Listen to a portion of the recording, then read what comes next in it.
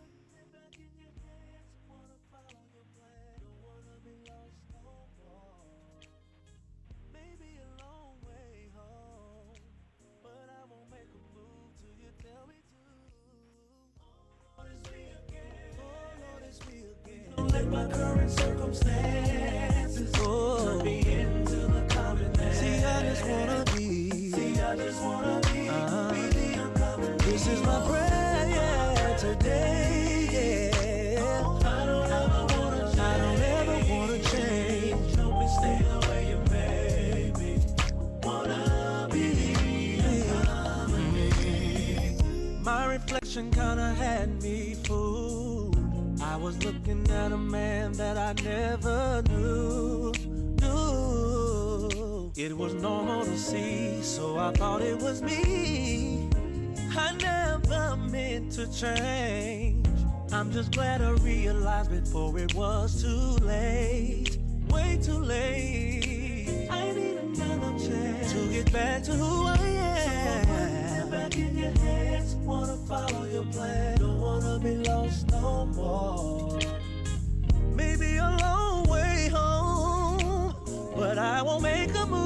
you tell me to? Oh Lord, it's me again. Oh Lord, it's me again.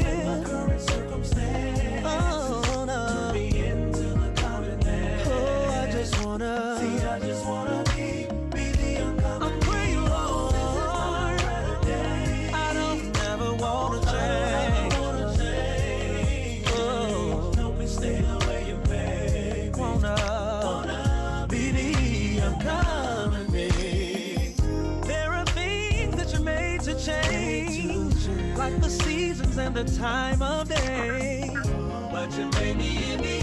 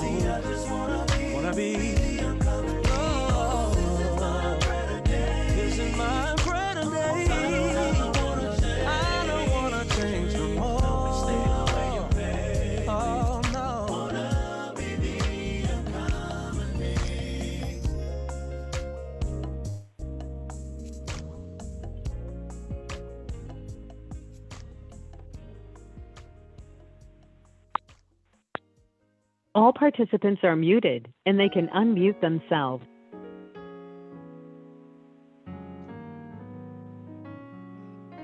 Right. Change me, oh God. Make me more.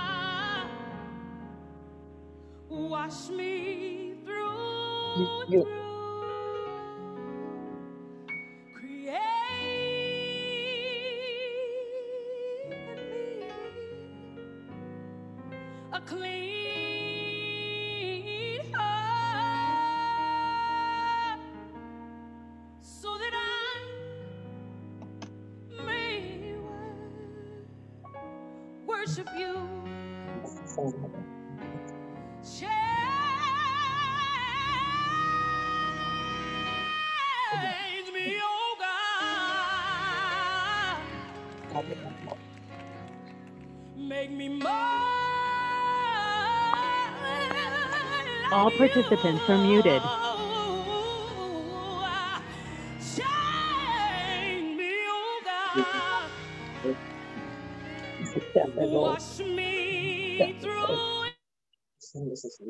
All right, all right.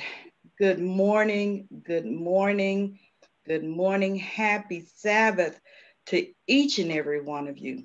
Thank you for calling in, dialing in, zooming in, Facebooking in, however you're watching or however you're listening. Thank you so much for joining us this morning.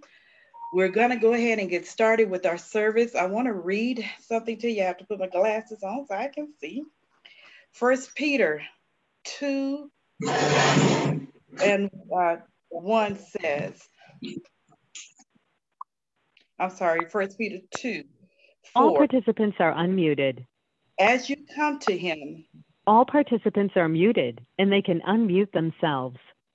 as you come to him, the living stone, rejected by men, but chosen by God and precious to him, you also, like living stones, are being built into a spiritual house to be a holy priesthood, offering spiritual sacrifices acceptable to God through Jesus Christ. Father God, Lord, we thank you for yet another day, Lord, that you blessed us with. We thank you, Lord, for a mind and a desire to spend this time with you. We thank you, Father God, for a portion of health and strength. Lord, we invite your presence into this virtual sanctuary this morning, Father. Lord, be with everything that is said, everything that is done, every song that is sung, Father. And Lord, when it's all said and done, we'll be careful to give you the praise, honor, and the glory. In Jesus' name, amen. Amen. Amen. Good morning. Good morning once again, you guys. Thank you so much for joining us. We are excited because we know that the Lord has a word for us today. So we're excited already about that word. We're excited just to be a part of another day. We're excited just to spend this time with you. So I'm going to go ahead and, and get Pastor Perkins. Before I do that, we want to give a shout out to Elder Carlos Mecanico Jr. He will be celebrating a birthday tomorrow. Ladies, you know, tomorrow is Mother's Day. So happy Mother's Day a day ahead of time. Spend this weekend doing what you do best, doing what it is that you want to do. Relax. Let people wait on you this Mother's Day.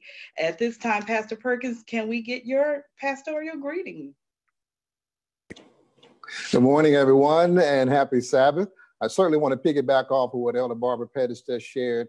This is a wonderful weekend of the year, and with all that we've had going on this year with the COVID 19, I know that tomorrow a lot of mothers are expecting to be pampered, as you should be. And I can't encourage us all enough to wish all of our mothers a happy Mother's Day. And for those of us who have lost mothers, uh, as I have, it's a wonderful time to remember those mothers for the faithfulness that they gave to us. I want to wish all of you mothers a happy Mother's Day. May God bless us as we continue to worship this morning in spirit and in truth. Amen. Amen. Thank you so much, Pastor Perkins. So, normally at this time, we would go into testimonies. However, I want to do something a little different this morning. So, I watched a movie uh, last night, and it was based off of Charles Sheldon's book, In His Steps. The acting was horrible, but the message in the movie was powerful. And let me just give you a synopsis because I'm going to have a challenge for you at the end.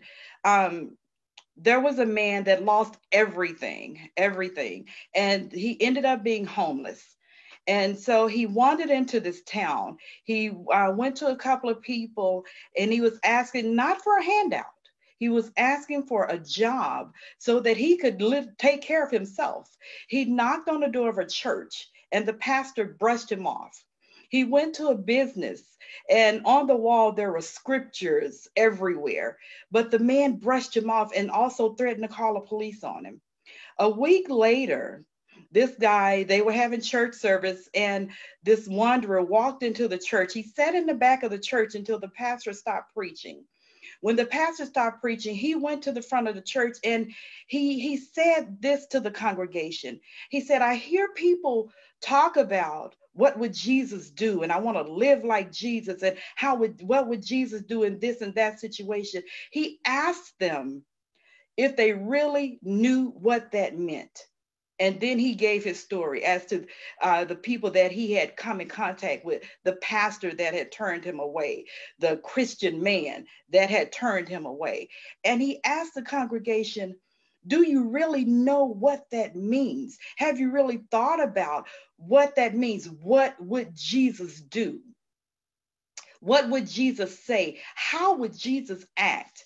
The pastor then his heart was pricked and the Lord was working with him. So he challenged the congregation for one year. He challenged them to really delve into and really seek out what that means. What would Jesus do? And he, he challenged them to pray about every decision that they made before they made and asked themselves, what would Jesus do? He challenged them to talk to, uh, before they spoke, to ask themselves, what would Jesus do? Here's my point. I wonder what would happen if we really knew what that meant. I wonder what would happen if we said, um, what would Jesus do before we reacted? I wonder if our behavior, our conversations inspire others to seek God, seek his face, or or are we a stumbling block to someone's salvation? So my challenge to you this week is to ask yourself, what would Jesus do? What would Jesus say before I speak on this situation?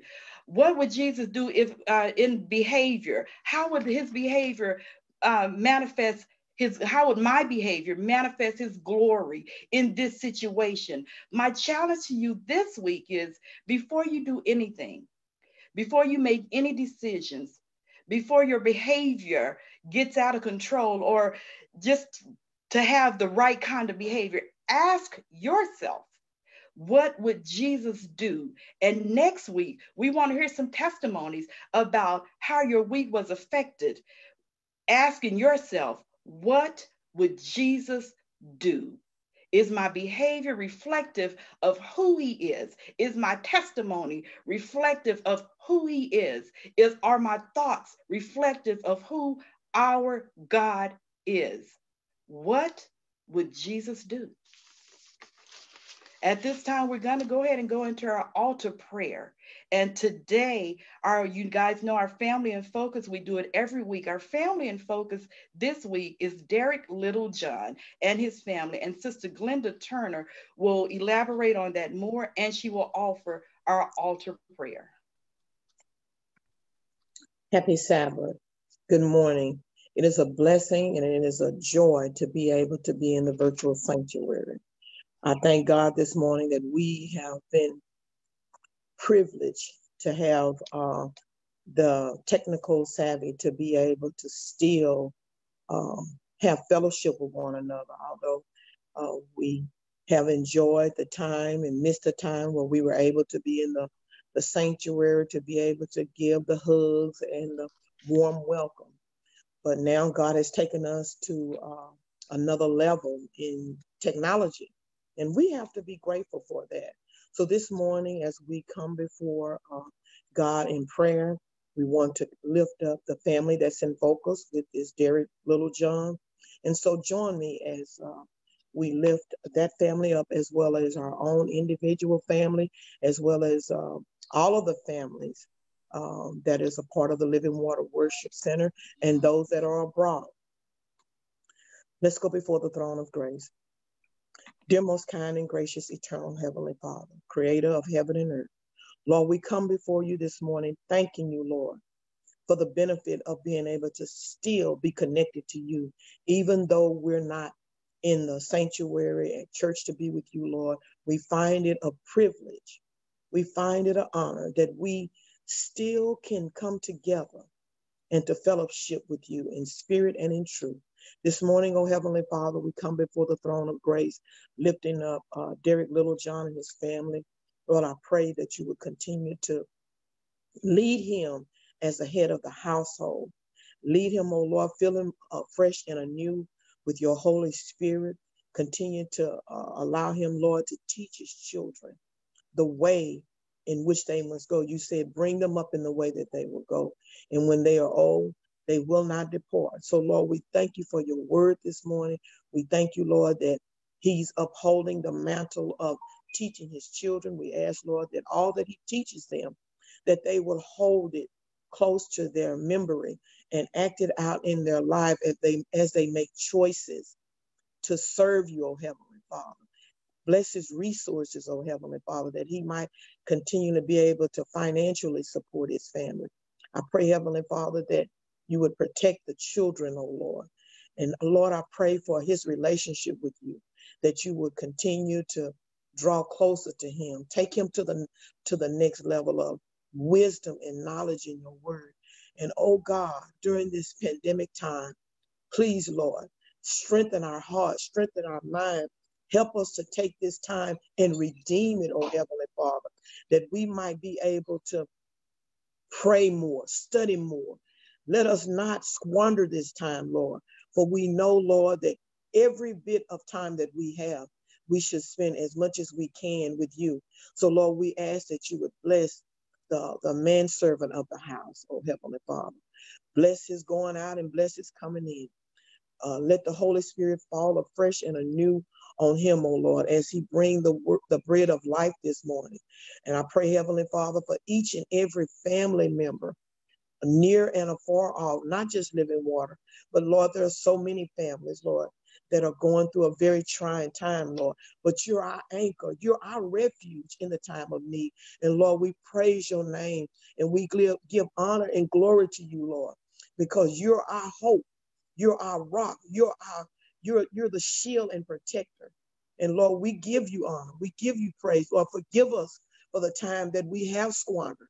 And help us, oh Lord, to be about your business, to be able to, to be a beacon of light in a dark world, Lord. Let us be the salt of the, of the earth as you have called us to be.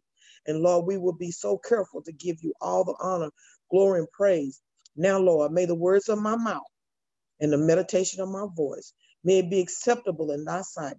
For Lord, we realize you're our strength and you're our redeemer. In Christ's name I pray. Amen. Amen. Amen. Thank you so much, Sister Glenda, uh, for that wonderful, powerful prayer. Just want to remind you guys um, that you can go to our website to return your tithe and offering, or you can do it by Cash App. Uh, if you are not receiving emails from our clerk, Ivy Stigler, please reach out to her so she can have the correct information to make sure that you're receiving all the correspondence that the church is putting out. We, we don't want to leave anyone out. We uh, don't want to miss anyone. So please, if you are not receiving the uh, correspondence, the emails, whatever the case may be, reach out to Ivy. You can go to livingwatersdallas.org and you will see where you can return your tithe and offering there. And uh, all the other church information is on our website, livingwatersdallas.org. And the Cash App is the dollar sign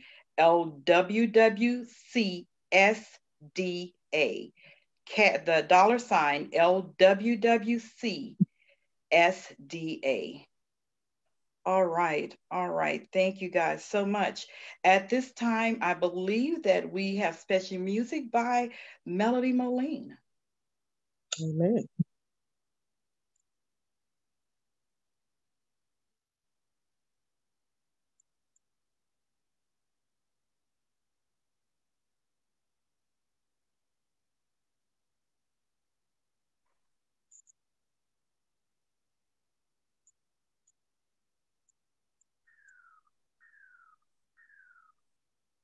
right, we may be having um, some difficulty.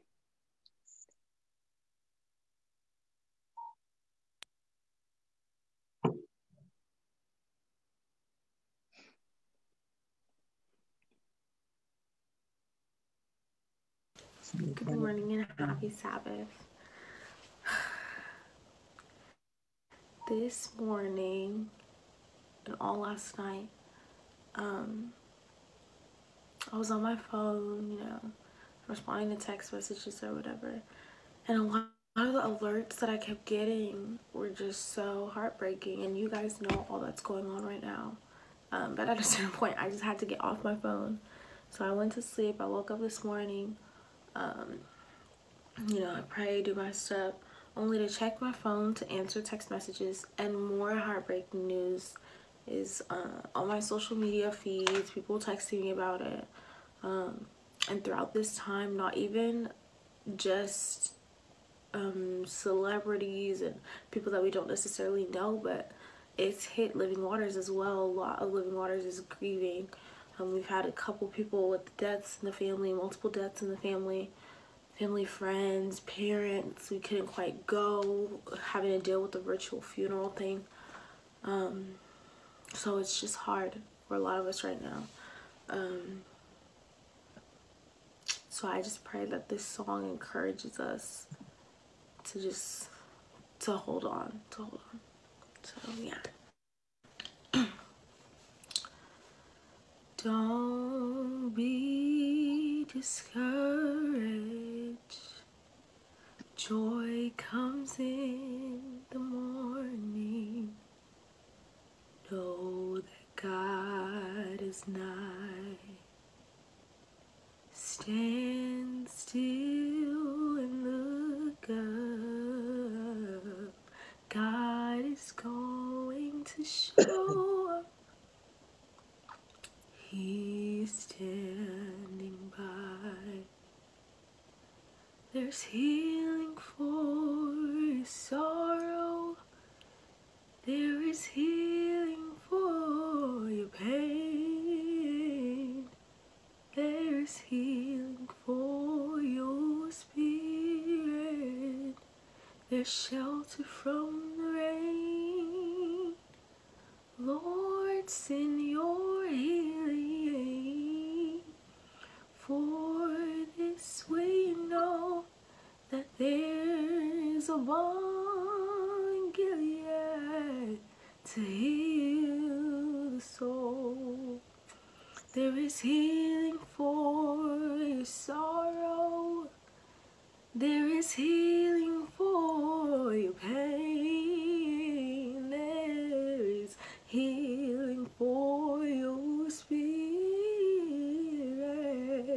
Shelter from the rain.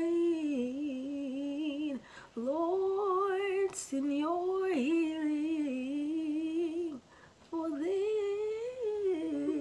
we know that there's a balm in Gilead to heal the soul.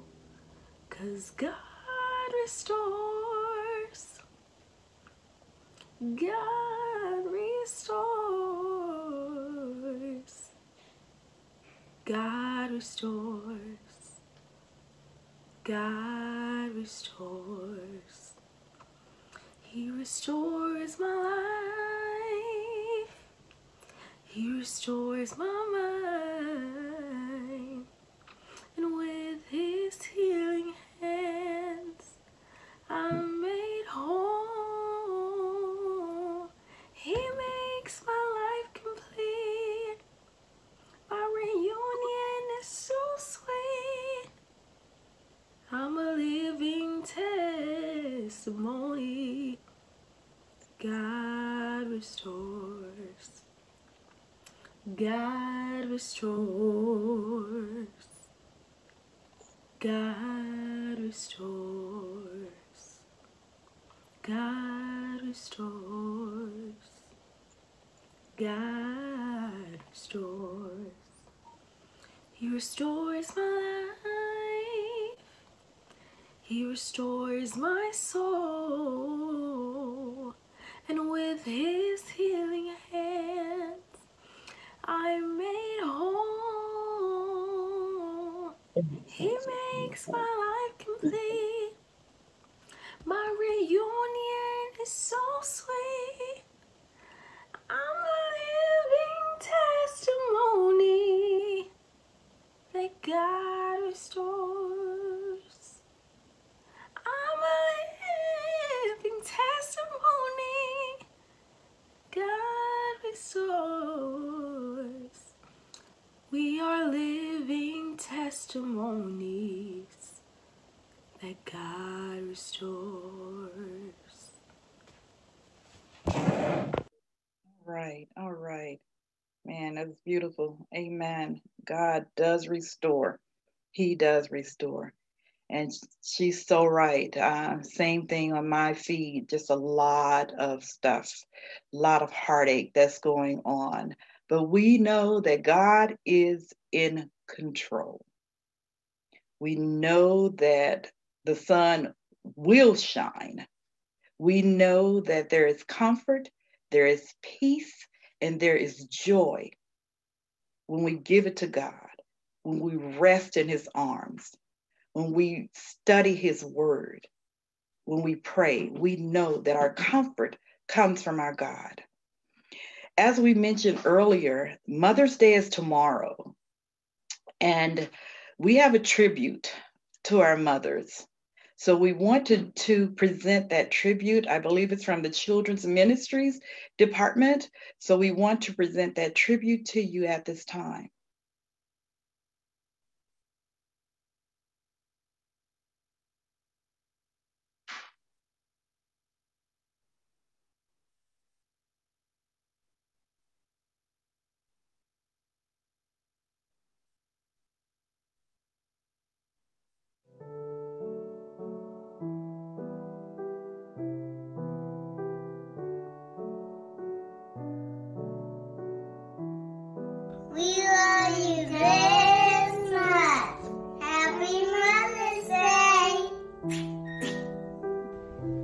This is Daddy Phoenix, and I see. Ethan. and we're wishing all the mothers across the world a happy Mother's Day. We love you, Nisi. Bye. Bye.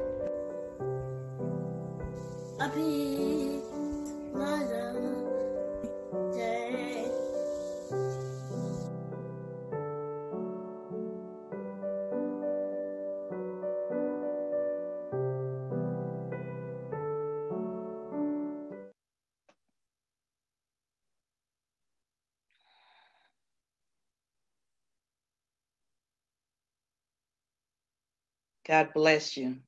God bless you.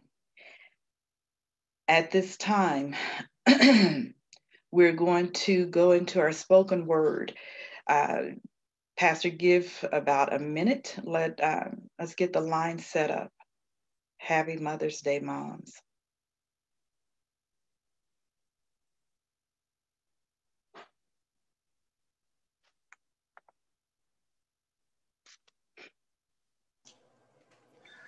Good morning again, everyone, and what a joy.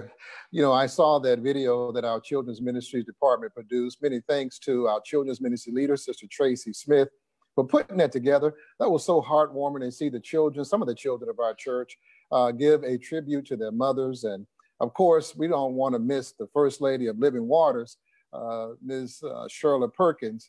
I wish that uh, we were about maybe 20 something years before we had some that our kids could have produced, could have participated rather in a very heartwarming Mother's Day. All of our mothers, you are worthy of the best that we can give to you, and we want to say thank you again. Beloved, I'd like to transition now and speak to you on what I consider to be a very sobering message because we're living in sobering times. But I do have a word of encouragement to you throughout this sobering message. I'd like to speak to you today on the subject, a spirit of lawlessness a spirit of lawlessness. If you want to, you want to grab your Bibles if you're able to. Turn with me to the book of Second Timothy, chapter 3.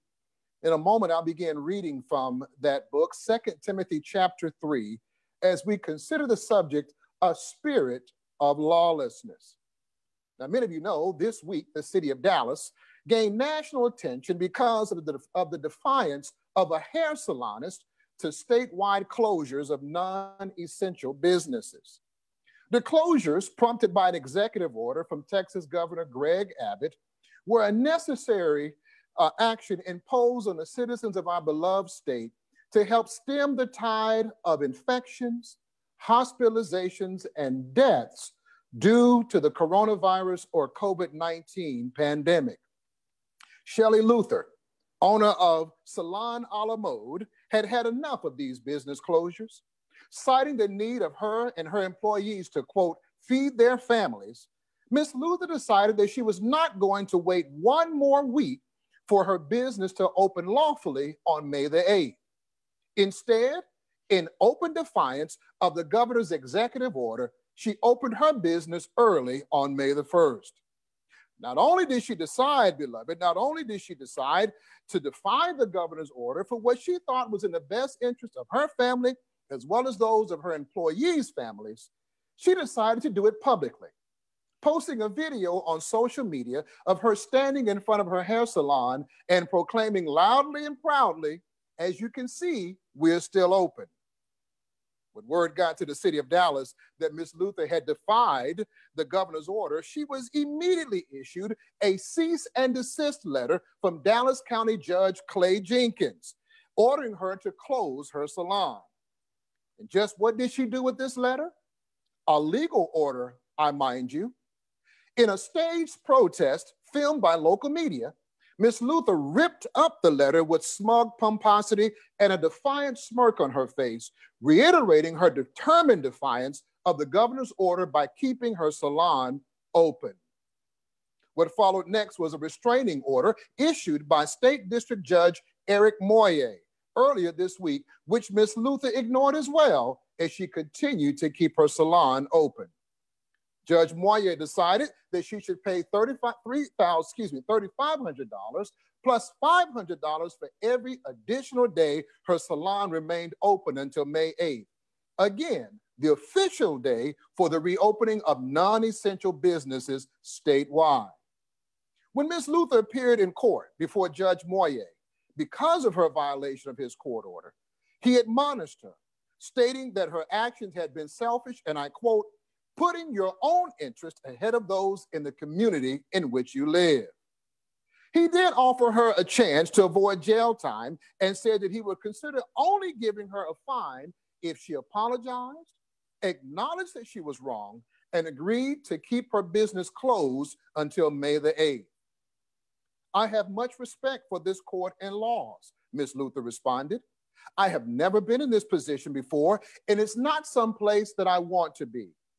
But I have to disagree with you, sir, when you say that I'm selfish because feeding my kids, she said, is not selfish. I have hairstylists that are going hungry because they'd rather feed their kids. So, sir, if you think that the law is more important than feeding kids, then please go ahead with your decision, but I am not going to close my salon. Hmm. In response to Miss Luther's continued defiance, George Judge Moye ordered her to spend seven days in jail, and she was immediately escorted out of his courtroom, taken to the Lou Sterrett Justice Center here in Dallas, where she was booked and placed into isolation and protective custody. Her jailing drew immediate outrage from certain citizens. They protested in front of the courthouse and jail, claiming that Judge Moye had exercised, and I quote, excessive punishment, unquote, in jailing Ms. Luther. After all, she was only trying to keep food on the table for her family and the families of her employees, right? Outraged citizens claimed that Ms. Luther's jailing was further evidence of governmental overreach where the government was unnecessarily and unethically ordering people to stay home, they argued. These same angry citizens would argue that the government was now denying citizens their fundamental right to work and to provide for their families. After all, were not people's individual rights and liberties more important than these annoying safety restrictions imposed by the government because of the out of control spreading of a nightmarish pandemic? Speaking of government, in a strange and ironic twist, government, Governor Greg Abbott, along with a slew of state and federal politicians, came out in defense of Miss Luther, the woman who had openly and sarcastically defied his executive order. Governor Abbott went so far as to state, and I quote, throwing Texans in jail who have had their businesses shut down through no fault of their own is nonsensical, and I will not allow it to happen. One day after he issued his executive order, Governor Abbott quickly amended it to state that no one could be jailed for violating it. And then, this past Thursday, May 7th, the Texas Supreme Court weighed in by overturning Judge Moye's decision to have Ms. Luther jailed, and she was immediately released. Over $500,000 had been raised in a matter of days in support of Ms. Luther. And on Friday, May the 8th, Texas U.S. Senator Ted, Cruz visited Ms. Luther's salon for a haircut, as well as to show his support of her release.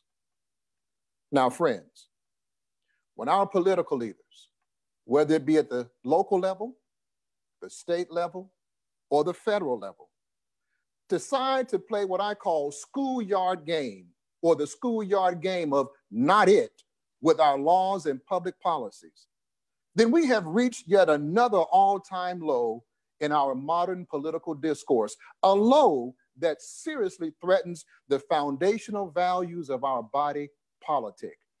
This is no game. Let me state it as clearly as I can. Some of our political leaders, by playing childish games with our laws and public policies, skillfully and deceitfully deciding which laws should be obeyed and which ones shouldn't, have in effect courted the devil and are now encouraging what I call a spirit of lawlessness. And yet, there's a much larger lesson for all of us to learn here. For my aim in this message, beloved, is not to give a prolonged criticism of the lawless schemes of our fellow citizens as well as our political leaders. Oh, no. See, in doing so, I and we would miss the point of what the Apostle Paul is trying to teach us right here in Second Timothy chapter 3. My aim, rather, is to demonstrate that the spirit of lawlessness is something that we all need to guard against in our personal lives. Second Timothy chapter 3, Paul talks about a spirit of lawlessness. Every believer, you and me, ought to be concerned about a spirit of lawlessness. Friend, I am sad to say that this spirit is permeating our state, it's permeating our country, it's permeating the world. In fact, it is a sign of the times in which we live, this spirit of lawlessness. And in Second Timothy chapter 3, the Apostle Paul lays out for us this spirit of lawlessness. I want to do two things in this message today. Number one, I want to point out the traits of lawlessness. But then I'm going to finish this message up by also pointing out the traits of faithfulness. Let's look at now, let's look now at what I call the traits of lawlessness. And there are three of them, beloved. The first trait of lawlessness is what I call a devotion to self. A devotion to self. Look at what the apostle Paul says now, Second Timothy chapter 3, and I want to read in your hearing beginning in verse 1. He says, This know also that in the last days perilous times shall come. For men shall be lovers of their own selves, covetous, boasters, proud, blasphemers, disobedient to parents, unthankful, unholy, without natural affection, truce breakers, false accusers, incontinent, fierce, despisers of those that are good. Then he goes on to say, treasures, heady, high minded, lovers of pleasures more than lovers of God, having a form of godliness, but denying thereof. And then he says this from such turn away. What are some of the traits of lawlessness? The first one is a devotion to self. Paul says, Know this, that we're living in perilous times. That word perilous means dangerously unstable. Hmm, dangerously unstable. We are living in dangerously unstable times. He talks about a devotion to self. You see, when we think about what is at the foundation of lawlessness, when we think about the traits of lawlessness, there is a foundation to self. There is a devotion, rather, to self. For men, verse 2, shall be lovers of their own selves, covetous, boasters, proud, blasphemers, disobedient to parents, unthankful, unholy. If we're going to be civilly disobedient, as did Miss Luther in exercising her rights to civil disobedience, then, friends, should not the character of our disobedience be not one that is cloaked in pride? Should we stand in the front of the in, in the face of the state and rip up a legal document with a smug look of arrogance and pomposity on our face? Or should there be a different character, a different spirit that says, if we have to defy a law, let us have a righteous aim and let us do so humbly, willing willing to accept the consequences.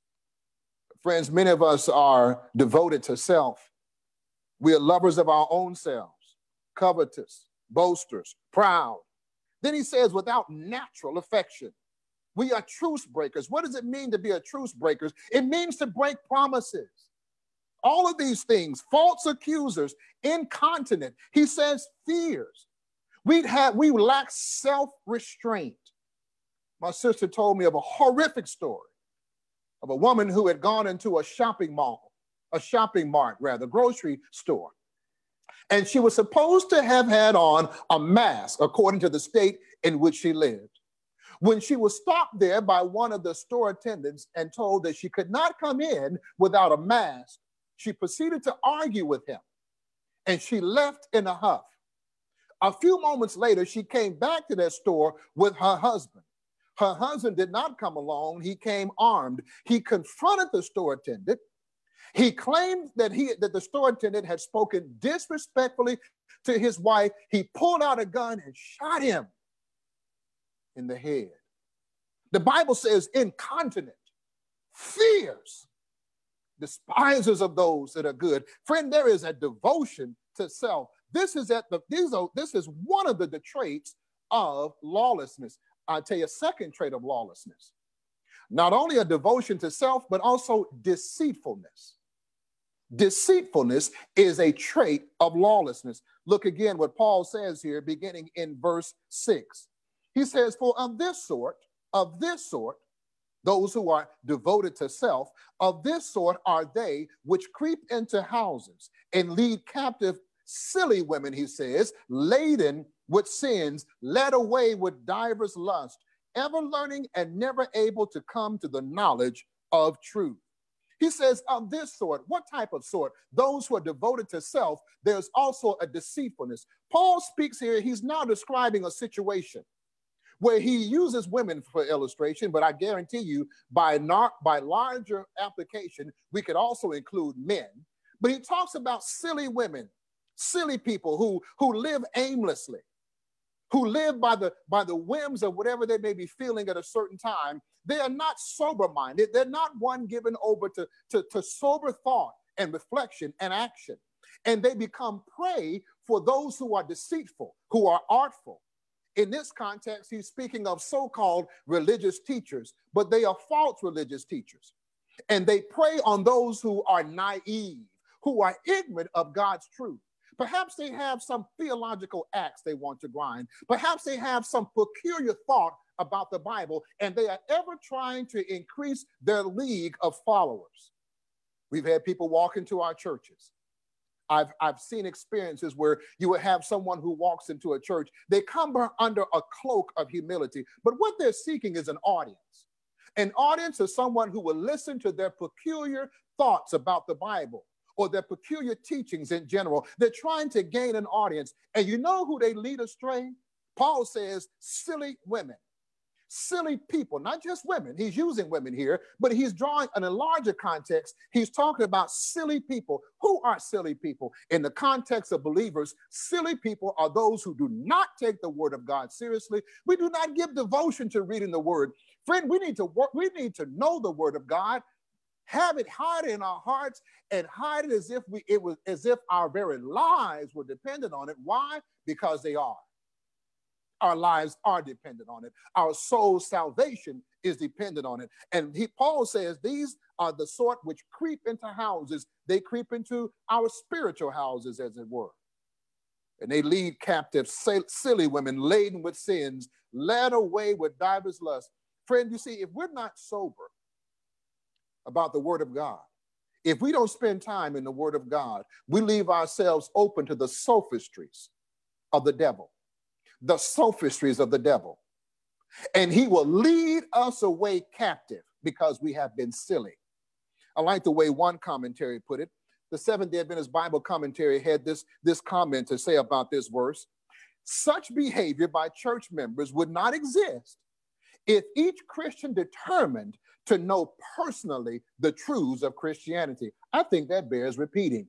Such behavior, what type of behavior, Pastor? Silly behavior. Such behavior by church members would not exist if Christian, if each Christian determined to know personally the truths of Christianity. The tendency to ever be seeking something new and sensational is not a characteristic of the mature Christian. And yet we have those who are constantly seeking some new thing, some new teaching, something that will tease and tantalize the senses. Oh, my dear friend, verse 7 talks about here that they are ever learning and never able to come into the knowledge of the truth. That word knowledge comes to us from a Greek word epignosis, which means full knowledge, pre- precise knowledge, firsthand knowledge. We are to know in whom we believe so that we cannot be soon shaken. First Peter chapter 3 and verse 15. Listen to it. Listen to the words of the apostle, First Peter 3 and verse 15. But sanctify the Lord God in your hearts, and be ready always to give an answer to every man that asketh you a reason of the hope that is in you with meekness and fear. What are the traits of lawlessness? Devotion to self. What are the traits of lawlessness? Deceitfulness is a trait of lawlessness. Deceitfulness is a trait of lawlessness. And friend, deceitfulness is running through our land like water runs through a gutter after a heavy rain. The land is full of deceitfulness everywhere we turn. But that's not, those are not the only traits of lawlessness. I'll tell you a third trait of lawlessness division. Division is a trait of lawlessness. Look now what Paul says here in Second Timothy chapter 3 and verse 8. He continues. He says, now, as Jannes and Jambres withstood Moses, I'll talk about those two in a moment. Jannes and Jambres withstood Moses, so do these also resist the truth. Men of corrupt minds, reprobate, reprobate concerning the faith. He says there are men who resist the truth, they have corrupt minds, reprobate concerning the faith. Paul mentions here two men Jannes and Jambres. This is the only time in this very verse, 2 Timothy 3 and verse 8, the only time in the entire Bible that these two names are mentioned. Paul is apparently making reference to the first time Moses and Aaron visited Pharaoh, requesting that he let God's people go. You can read about that in Exodus chapter 7, verses 10 through 12. Listen to what it says now Exodus chapter 7, verses 10 through 12. And Moses and Aaron went in unto Pharaoh, and they did so as the Lord had commanded. And Aaron cast down his rod before Pharaoh and before his servants, and it became a serpent. Then Pharaoh also called the wise men and the sorcerers, now the magicians of Egypt. They also did in like manner with their enchantments, for they cast down every man his rod and they became serpents. But listen to this. But Aaron's rod swallowed up their rods. Hmm. Bible scholars tell us that the names Jannes and Jambres, though not mentioned anywhere else in scripture, are preserved nonetheless in Jewish historical literature, such as the Jewish Targum. Historical literature, mind you, with which Paul was apparently familiar because he makes mention of, the, of two of Pharaoh's magicians by names. Jannes and Jambres were two of Pharaoh's magicians. Likewise, beloved, when our political leaders or anyone else for that matter encourage a spirit of lawlessness, because that's exactly what Paul is saying that Jannes and Jambres did, did. Paul says that they withstood Moses or they stood against him.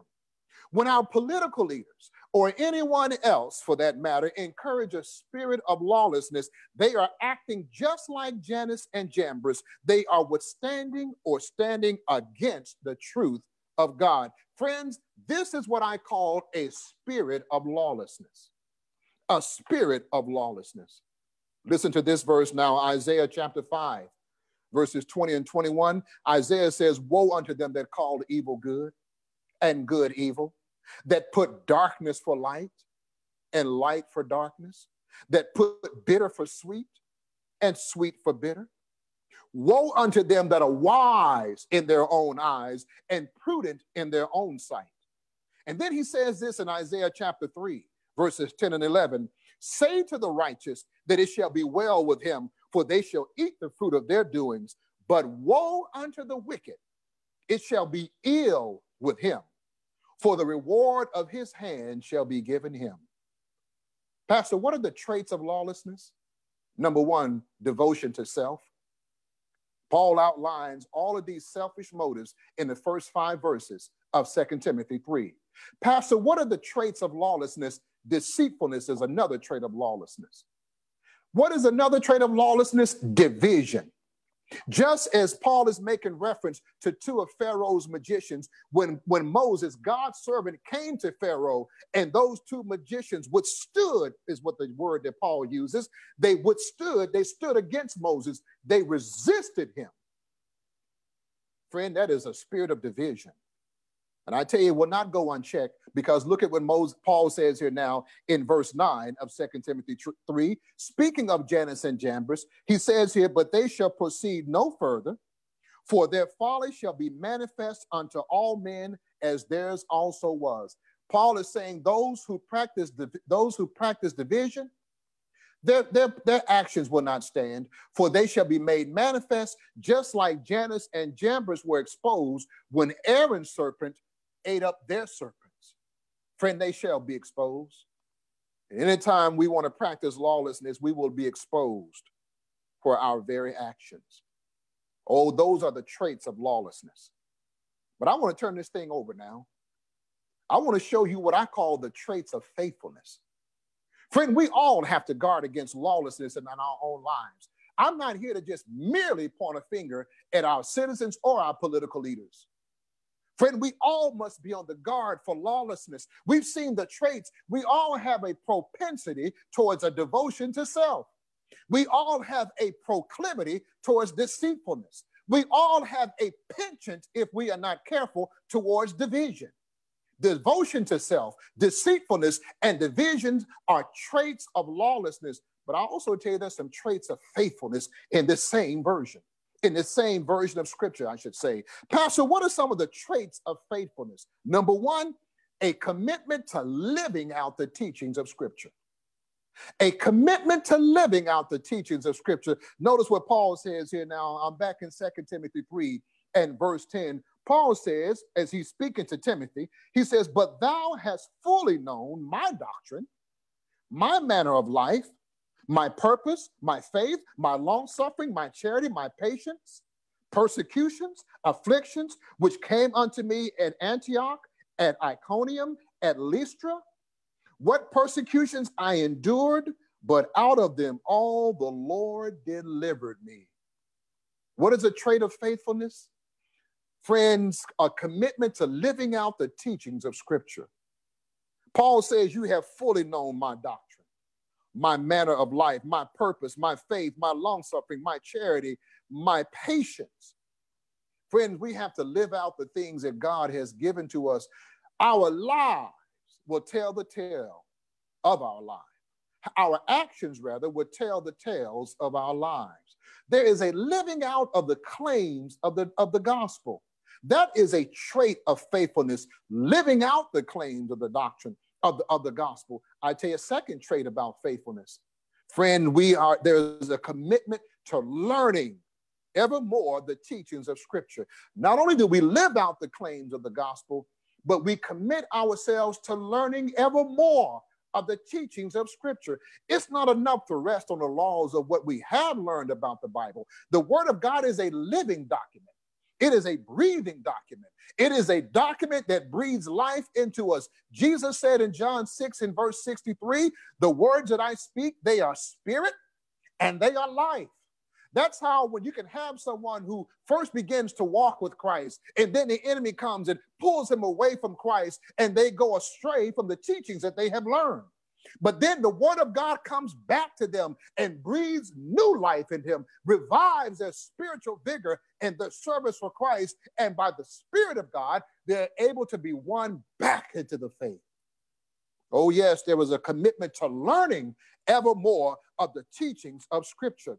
Paul says here now, beginning in verse 11, verse 12, he says here, Paul, excuse me, verse uh, 13, Paul says, Evil men and seducers shall wax worse and worse, deceiving and being deceived. But continue thou, he tells Timothy, continue thou in the things which thou hast learned and hast been assured of, knowing of whom thou hast learned them. Friend, are we having a daily experience with Christ? Are we continuing in the things in which we have learned? God has favored us by pouring truth into our lives. God has favored us by giving us a revelation of Jesus Christ. And what a wonderful revelation it is. I'm so thankful I've had that revelation in my life. I'm so thankful that I know God. And the more I know of myself and the more I learn about myself, the more thankful I become that God brought Jesus to me. Has He brought Jesus to you? Oh, he has shown you Jesus. He's shown you Jesus. But have you opened your heart to allow the full revelation of Jesus Christ to be revealed in your life? You see, a test of faithfulness is number one, a commitment to living out the claims of the gospel, but it's also number two, a commitment to ever learning, learning ever more of the teachings of Scripture. Jesus says in Revelation chapter 3 and verse 20, Behold, I stand at the door and I knock. And if any man will open that door, the door of our hearts, and come in and allow me to come in, I will sup with him and he with me. But time is fast closing on me now. I must move on to my third and my final point about what is a trait of faithfulness. Not only is it living out the claims of the gospel, not only is it learning ever more of the teachings of, this, of the gospel, but number three, the third thing that we must have a commitment to, beloved, is a commitment to leading others to the teachings of Scripture. Notice what Paul says here as he concludes here in 2 Timothy 3. Paul says that all Scripture is given by inspiration of God and it's profitable.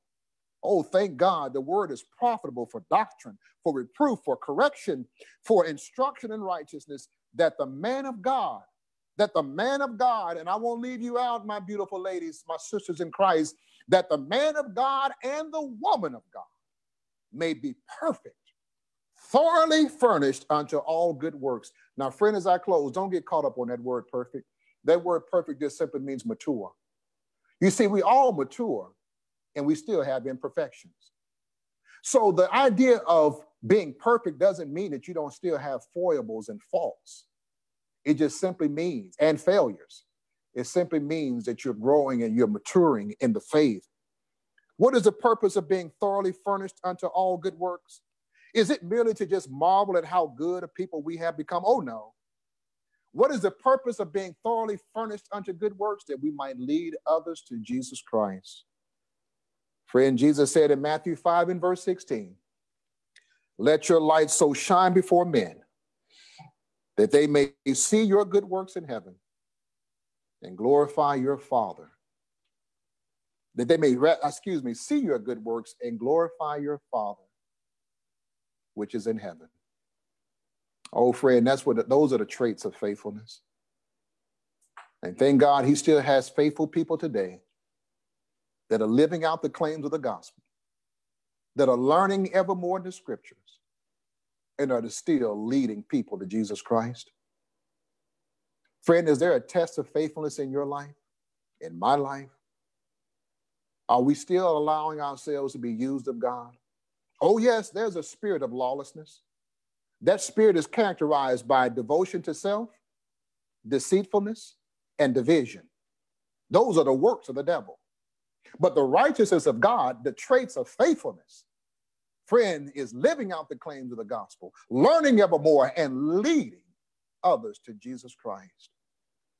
And by his grace in our lives, we can replace that spirit of lawlessness that is resident in our hearts. We can replace it with the wonderful fragrance, fragrance of God's love and his working in our lives.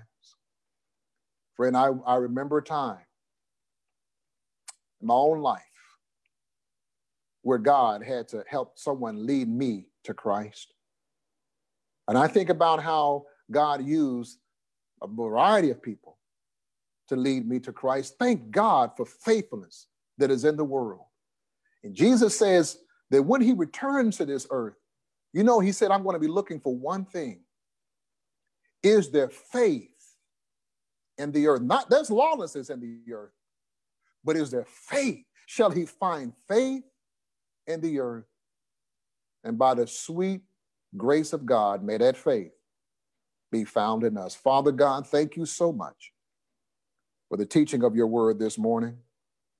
Thank you, oh God, that you have sent us so great a sacrifice, so great an example is your own dear son. And Lord, even though we all are prone to wander, even though we all are prone to, to exemplifying a spirit of lawlessness, oh God, may the spirit of your Holy Spirit be made manifest in our lives.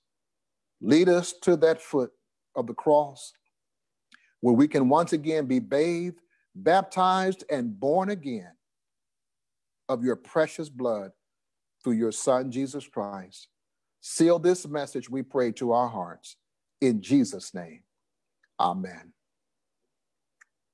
Amen. Amen. Amen. Thank you so much, Pastor Perkins, for that powerful sermon, that powerful message, that timely message today. Amen. We have another tribute to mothers before we go into our prayer. Uh, when we go into our prayer, well, let's do the tribute. We're going to do the tribute and then I'll talk about um, our closing prayer.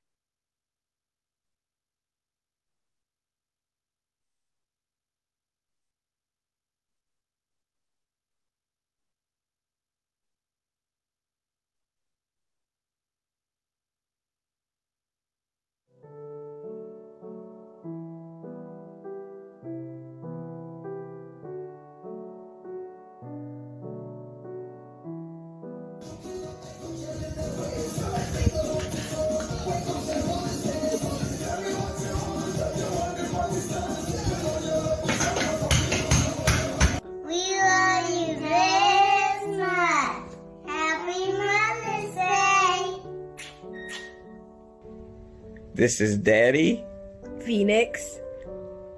and I see. Ethan. And we're wishing all the mothers across the world a happy Mother's Day. We love you, Nisi. Bye. Bye.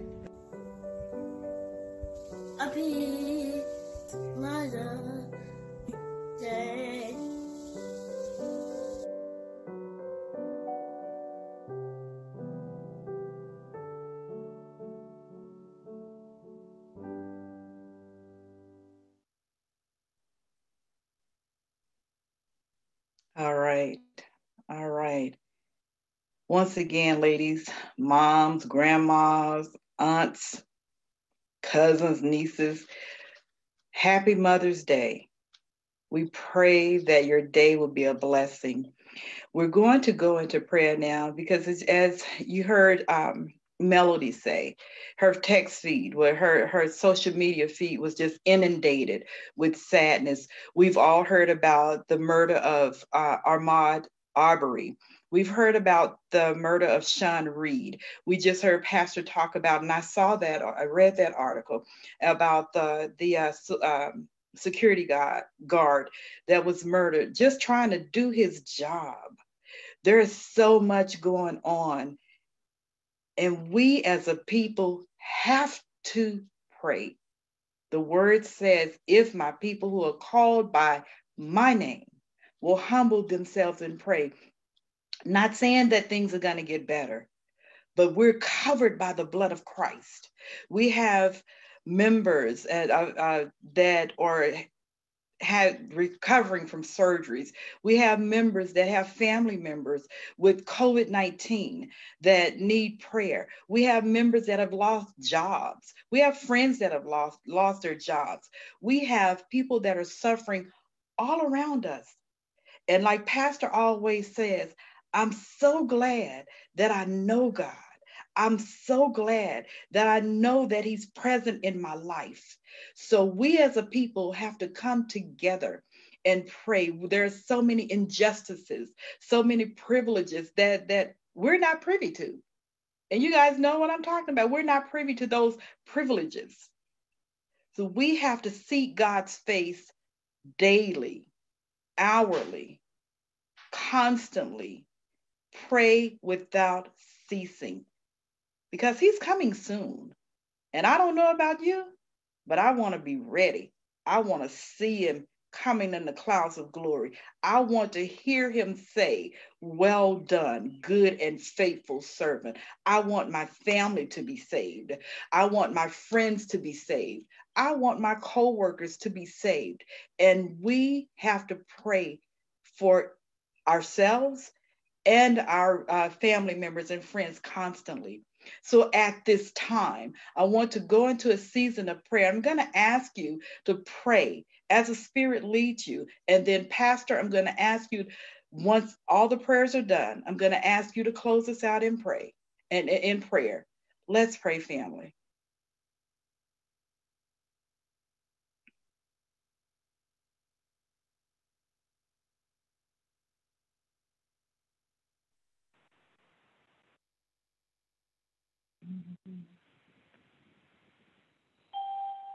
Sister Turner, you're on mute. I see, looks like you might be praying, but you're on mute.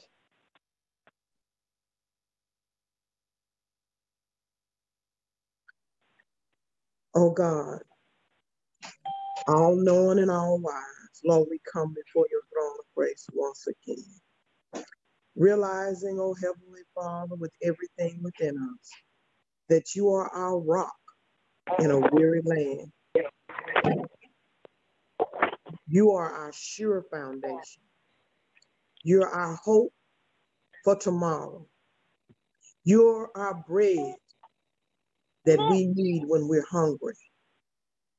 You are all that we know to trust in because you are true and you cannot lie. Oh God, you have covered us in your blood and we give you honor, we give you glory, and we give you praise, oh Heavenly Father. That during this critical time in earth history, God, you have been with us. You have kept us. You have covered us with your son's blood. And Lord, we say glory and hallelujah, which is the highest praise to your name. We ask, oh Heavenly Father, that you will continue to strengthen us in those areas where we're weak. Build us up, oh Lord, where we're torn down. Help us, oh Lord, to continue to be the salt of the earth, to spread this last day gospel to all that we come in contact with. Even though we have been in a time of social distancing, Lord, we still have the uh, the technical savvy to be able to tell someone, our phones, to be able to send a message to someone. Oh God, let us not fail in these last final hours but let us be quickened by your Holy Spirit, oh Lord, to redeem the time that we have right now during this time of, of uh, quarantine, Lord. Let us take this time to spend with you, Lord, in spirit and in truth. Thank you, oh Heavenly Father, for this time. Some people are looking at it from one perspective, Lord, but I'm looking at it as time that has been ever so needed to just be able to close up into our secret closet to cry, cry out to you and pour our heart desires out to you. That we might take this time to fulfill your purpose for why we're on planet Earth. You sent your son here, Lord, that we might come to know life in a more excellent way. So, Lord, we plead and cry out to you humbly, knowing, O Heavenly Father, that you are our rock in a weary land. You're a sure foundation. We can trust you. Your word has left your mouth and it shall not return unto you void. So, Lord, we rest in this time and we praise your name for it. Thank you for our pastor. Thank you for his wife. Thank you for his children, oh Lord. You brought them here from Des Moines, Iowa, Lord, and we thank you. We praise you, Lord. At, at such a time as this, Lord, you sent your man servant. So, Lord, equipped him. Let him do due diligence to study your word that he might uh, continue to deliver it to, unto us, Lord, that we might be anchored in you, Lord. We need you, God. Please don't turn away from us. For if thou turn away from us, where shall we go, O Lord? Thank you for the children that wished uh, all the mothers happy Mother's Day, Lord. Bless them, O Lord. Thank you, Lord, for all those that were uh, part of the service today, Lord. No, we're not able to go into the address of living waters, but we are able to call upon your holy and righteous name. And Lord, I take this time because, Lord, who knows when the next time will be? So, Lord, we plead with you. Our hearts cry out to you. Save us, oh Lord. Remember us when you come again to receive us unto yourself. So that where you have, have built a place for us, you said you was going to go away and prepare a place for us. That where you are one day we can be too. So, Lord, our desire is to be with you that we might be able to stand before you and say, This is our God, whom we have longed to see, and that we can live out the ceaseless ages of eternity, knowing that we have a sure foundation in you. Bless us, Lord, even now, Lord. In Christ's name I pray that this prayer might be a fresh uh, incense in thy nostrils, and that you might find it pleasing to honor it with your request. In Christ's name I pray. Amen.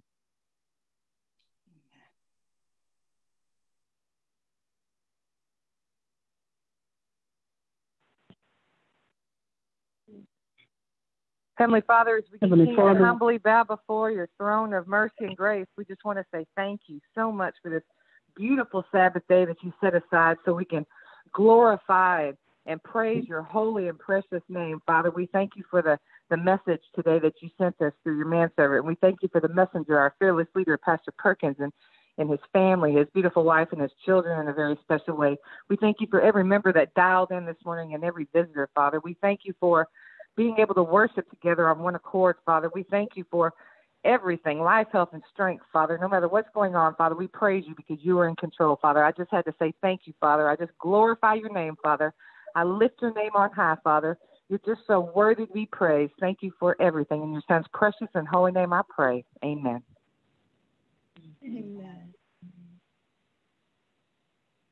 Dear Heavenly Father, just willing to say thank you, Jesus, for waking us up this morning. Thank you for blessing us with this beautiful Sabbath day. Thank you for this beautiful family of living water and the pastor who brought such a beautiful sermon this morning. God, we need you in so many ways today. We know your grace and mercy has carried us all this time. And we just want to say thank you for this life. Thank you for the strength that you've given each one of us. Bless each family that's represented here today and keep us safe in your name. For I thank you, Jesus. Amen. Amen. Amen. Uh,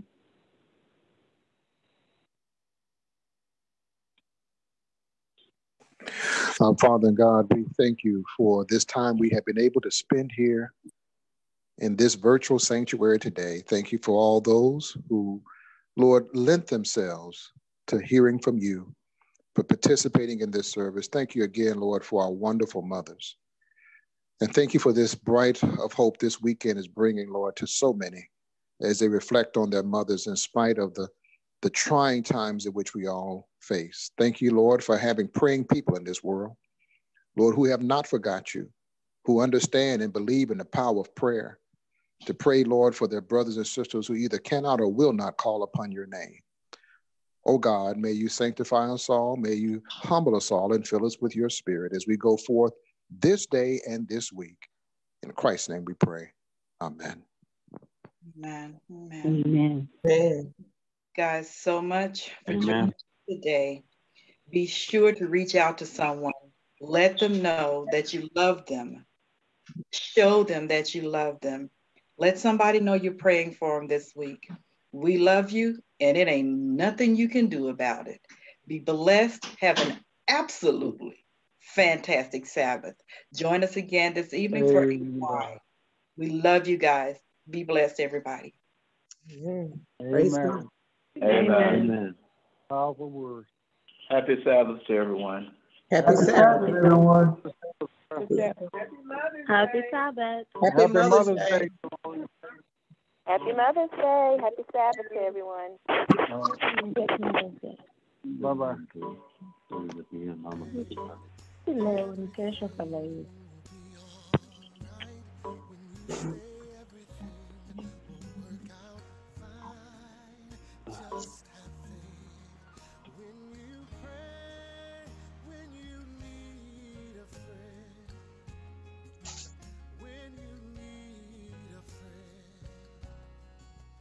Just have faith when you pray.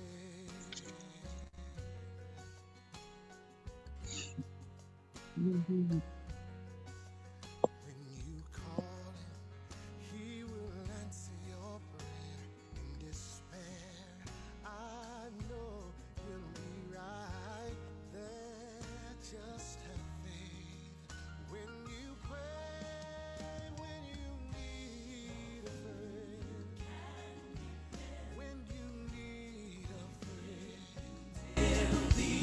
Just have.